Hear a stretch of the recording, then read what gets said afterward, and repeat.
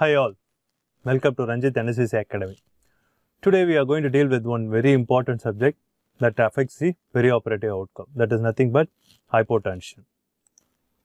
Coming to the topic, here you can see two variables which is significantly altered. One is hypoxia another one is hypotension.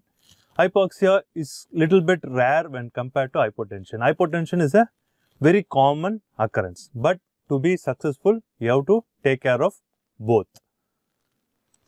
Before going into the definition of perioperative hypotension, when do you measure the blood pressure to say there is hypotension? What is very surprising is it is not even defined in more than 56% of the cases. That means there is no definition exists for what is blood pressure during surgery.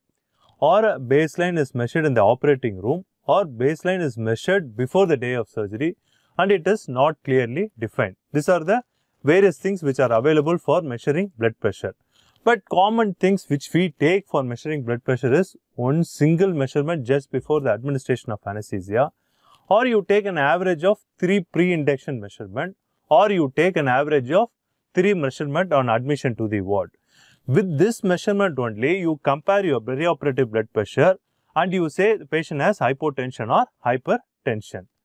So, what is the definition of intraoperative hypotension? Here if you look at the definition, there is more than 60 to 70 definition for intraoperative hypotension. So, what is commonly used? Your systolic blood pressure is less than 80 millimeter of mercury or your systolic blood pressure is greater than 20 percent fall from the baseline or your systolic pressure is less than 100 or 30 percent decrease from the baseline. These are the three common definition used. So, what is the accuracy of this measurement? If you take less than 100 and greater than 30 percent fall from baseline, it is 67 percent accurate. If it is less than 80, it is 54 percent accurate. If you take a fall of 20 percent from the baseline, it is 65 percent accurate.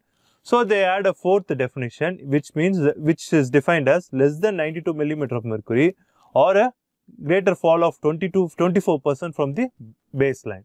This is most accurate which is 68 percent accurate. These are all the various definition for intraop hypotension.